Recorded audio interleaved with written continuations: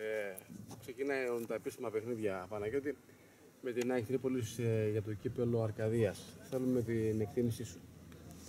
Ε, πιστεύω είμαστε έτοιμοι για το κυριακάτικο παιχνίδι. Μια προπόνηση έχει μείνει αύριο, πρωινή. Ε, την ομάδα δεν την ξέρω, την ΑΕΚ. Έχω ακούσει ότι είναι από τις καλές του τοπικού. Πάμε να κερδίσουμε. Και πάντως, ανεξάρτητα με τη διαφορά κατηγορίας, βλέπουμε ότι ο Παναγενικός αντιμετωπίζει με ιδιαίτερη σοβαρότητα αυτό το παιχνίδι, καθώς έχει και στόχους και βλέψεις για το θεσμό του κυπέλου Αρκαδία. Σίγουρα, σίγουρα το βλέπουμε με σοβαρό μάτι το παιχνίδι. Ε, πάμε σοβαρά, πάμε να, να μην χτυπήσουμε πρώτα απ' όλα και πάμε να κερδίσουμε, σίγουρα. Και επίσης θα θέλαμε και ένα σχόλιο για την εξέλιξη της προετοιμασίας. Ε, η ομάδα δουλεύει καθημερινά, αρκετά σκληρά. Θέλουμε το δικό σχόλιο.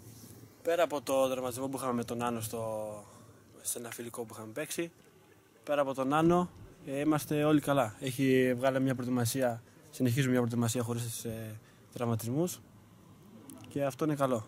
Ε... Και σε θέματα τρεξίματα είμαστε πολύ καλά. Και κάτι τελευταίο, έχεις μια εμπειρία ενός έτους ε, στη ΓΑΜΑ Εθνική Κατηγορία πέρυσι.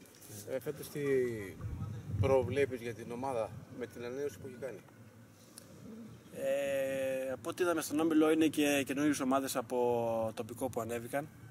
Οπότε σε σχέση με πέρσι δεν ξέρω πόσο ανταγωνιστικό θα είναι. Η ομάδα μας πιστεύω θα είναι το ίδιο ανταγωνιστική.